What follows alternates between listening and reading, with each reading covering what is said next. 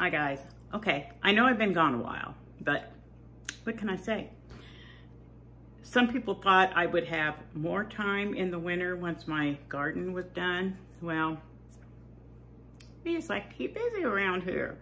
So anyway, I yeah, I have a couple videos up on YouTube that I haven't even had time to write a little sentence and click post. They're old. I don't know yet if I'll make them public. I've been I've done a couple videos over the winter. Well, I've done a bunch, but taking the time to put them together, it's just not there. And I haven't been on YouTube much. So anyway, what this is about is several of you have been with me for quite a while and you've seen me make bone broth. And I've told you from my bone broth that I often make uh, bouillon. And um, so this time it's gonna be beef that I'm making. I prefer anything dehydrated um, or canned. Dehydrated I like better over anything frozen. So um, we recently butchered a steer and I had the butcher save me some bones and I'll insert a picture here of um, the bones before I put them in the oven.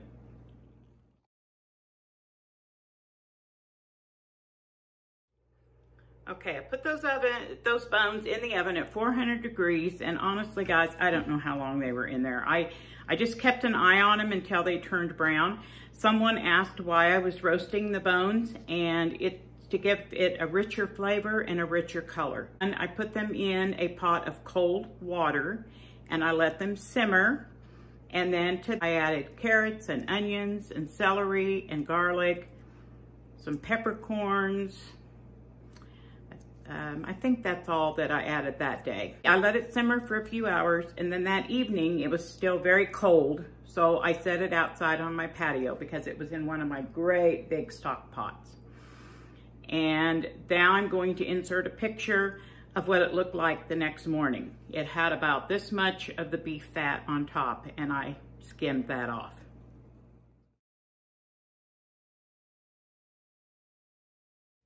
So after I skimmed off the fat, and if there's fat in there, guys, this is a healthy fat, remember, because this was grass-fed Angus beef. So the fat's not gonna hurt you, but when you dehydrate something, you don't want fat in that because it'll make your food go rancid. So um, then I put it back on the stove and I let it simmer most of the day to reduce it down. It had reduced down, so I took the bones out, I strained the uh, vegetables off, I dipped the vegetables off and strained everything out. Set it back out on the porch again. And this morning I brought it in and I'm gonna insert a picture of what it looked like this morning. There was just a thin layer of fat on the top of it. And this is what it looked like this morning.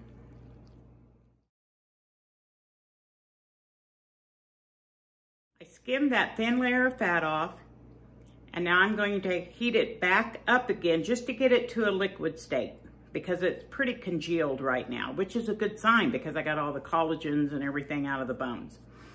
So I'm going to have to heat it up one last time and then I'm gonna strain it and get all of the, you know, there's gonna be particles in there and there'll be um, little tiny pieces of meat that I didn't catch and maybe little pieces of pepper and the peppercorns and vegetables, what have you. So I'm going to strain all that now. Um, you can do it through cheesecloth, but y'all know me. I use my cotton, my flour sack towels, and that's what I use to strain. So I'm gonna do that right now. And then after I do it, um, well, I'll show you. Guys, right quick, while I'm waiting for that uh, broth to go back to the liquid state, I'm gonna show you one of some of my favorite things to dehydrate. Frozen vegetables. Go to the grocery store, get your bag of frozen vegetables, spread them out on your uh, dehydrator tray, plug that baby in, and the next morning your vegetables are dehydrated. I love that. You don't have, I mean, they've already been prepared for freezing, so they've already been blanched for dehydrating. And takes up less space. They don't freeze or burn. They don't get icy. And it takes just about as long to rehydrate your vegetables as it does to warm them up from frozen state. There you go. two pound, that was a two pound bag of frozen peas. They fit perfect in a pint jar. I usually uh, vacuum seal my jars. And since I'm in the middle of so many things, I'll do that later. So let's get on to that broth. All right, guys, I got it all strained. Thank goodness, it was pretty yucky. And let me show you what I've got in my pot. So what you do on your dehydrator, get your fruit roll-up tray because it's got the little lip on it. And my table is crooked. I don't like to do it this way with the liquid because it's just too messy for me. So I'm going to do a batch tonight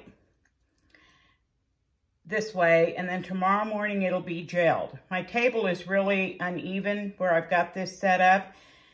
Um, I currently have one, two, three, four, five, six trays. I have six fruit roll-up trays. So I'm going to have this all set up. You see what I do is I put the liquid in there, and then I'm going to run the dehydrator on the meat section. And um, when I get them all set up, I'll show you.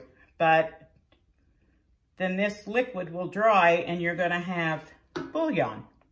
And it makes amazing bouillon. So anyway, let me get them over there where they belong and all set up and, and I'll come back. Okay guys, I've got it in the dehydrator. I've got my, what did I say, six trays.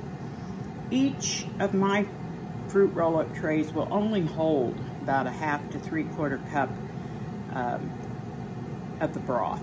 And I know that's not very much, but I really like the bouillon, so it works great for me.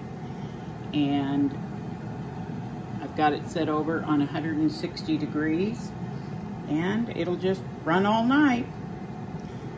Something I like about dehydrating. Put your stuff in there and let her go. Okay, let's check. We'll check on it in the morning. All right, guys, it's the next morning, and this is what it's gonna look like on your um, fruit roll-up tray. Can't remember what it's called. So I'm gonna sit down here and show you what I do, but basically uh, you just kind of peel it off. And I'm not wearing gloves because of the coronavirus. I'm wearing gloves because I've had a few stitches on my hand. No, not what you think. I didn't try to cut my hand off Besides, you know, I wouldn't go to the doctor if that's what I did. But anyway, you just kind of peel this stuff off and let me sit down. I'll show you what how I do it. Okay, I've already done one tray and this is what I got. Look how beautiful that um, bouillon is.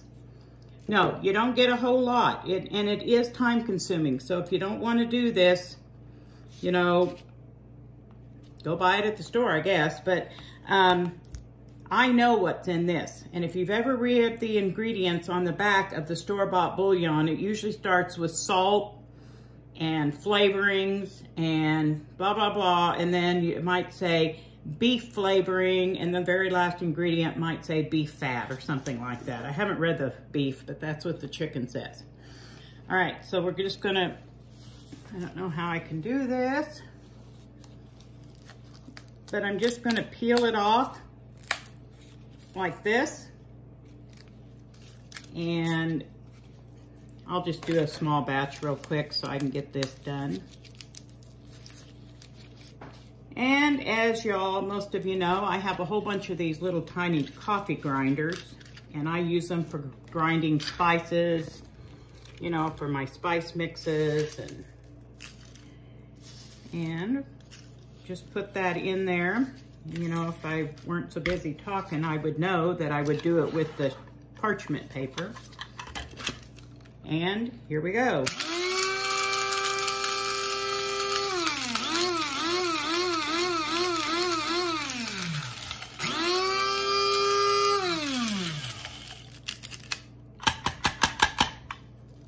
Okay, it's got larger pieces, which is what I expect.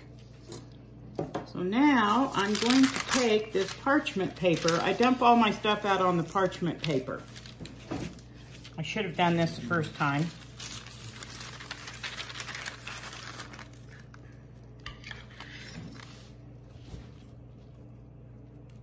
Pour it into my coffee grinder.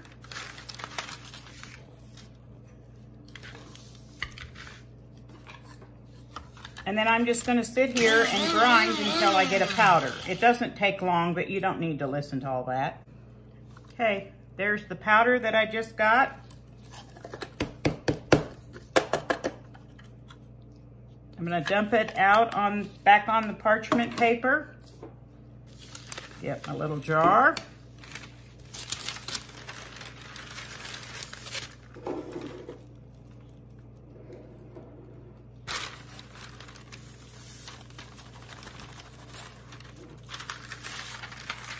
And there's my bouillon. So I'm gonna get to work and finish doing these and um, I'll come back and show you why I prefer the gel the when it's more like gelatin than the liquid. Okay guys, I'm getting ready to fill the dehydrator again and I'm gonna show you why I prefer to do it when it's kind of in the gelatin stage just because it's not as messy putting it on there. Yes, it's gonna melt. Yes, it's gonna go to liquid. And yes, I have overestimated how much the tray would hold and I've had it melt all over, but oh well, part of the fun. So all I'm gonna do is I've got the gelatin, just took this out of the refrigerator and the pot's right here next to me and I'm just gonna dip it out, just kind of smash it around. Um, sometimes I can cut it out and just put real thin slices, but I'm not able to cut it this time. Anyway, that's what I do. Going back in the dehydrator and 12 hours later, I'll make more bouillon. Well, guys, it's actually the next day, and I was going to show you more of the how it turned out in the from putting it on as gelatin form because I actually can get a little bit more on there than um, if I have to pour the liquid. It's just less messy. I don't know why. I, I, I don't know. But um, I can get it done. So anyway, I'm going to get this uploaded. And I appreciate y'all for being here. Stay safe. Stay home and save lives. And stay safe. All right, guys, thanks for being here. I'll try to do a better job, but how many times have you heard me say that? See y'all later.